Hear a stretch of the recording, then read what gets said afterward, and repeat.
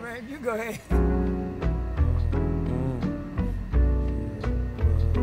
I'm riding dirty. Straight up dedicated to them